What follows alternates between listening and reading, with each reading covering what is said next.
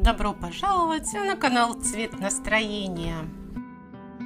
6 сентября этого года, в день рождения Юрия Шатунова, которому могло бы исполниться 49 лет, в СМИ появилась информация о том, что Андрей Разин судится с родственниками Юрия Шатунова.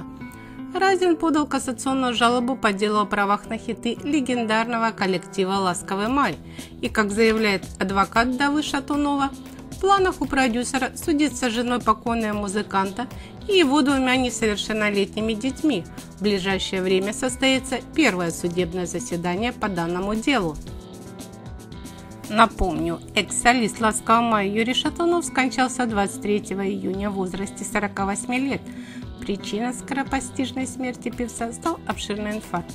Перед самой смертью Юрий Шатунов выиграл многолетнюю тяжбу с продюсером «Ласкового Андреем Разиным, который уверял, что права на хиты, включая «Белые розы», ему еще в нулевые за символическую сумму передал основатель группы Сергей Кузнецов, а Шатунов со своей стороны доказывал, что документы и передачи сфальсифицированы. Особенно чудовищным в данной ситуации кажется тот факт, что Разин является крестным отцом сына Шатунова. Накануне он даже поздравил своего крестника Дениса с 16-летием. Разин записал публичное обращение к мальчику, в котором даже намекнул на возможное сотрудничество. «Ты уже взрослый, нам нужно держаться все вместе и работать, чтобы группа «Ласковый май» процветала, чтобы темные времена закончились», написал экс-продюсер.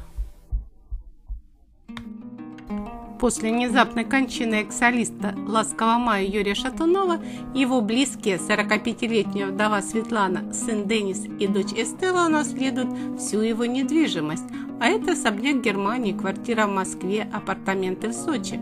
Кроме того, им автоматически переходят права на песни, которые исполнял Юрий, и, к сожалению, суды.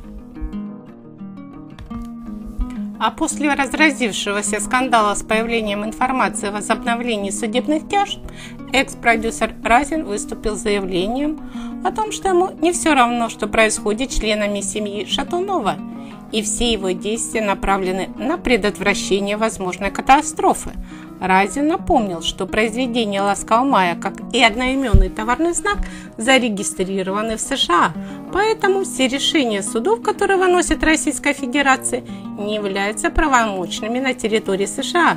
В связи с чем продюсер заявил, что если вдова Шатунова предъявит за рубежом решение российского суда, то у нее могут забрать все имущество в качестве компенсации за нарушение закона иностранного государства связи со всем вышесказанным на ум только приходит крылатое выражение «благими намерениями вымощена дорога в ад». А вам, как всегда, спасибо за внимание. Оставляйте свои комментарии, ставьте лайки, подписывайтесь на мой канал «Цвет настроения». И до новых встреч!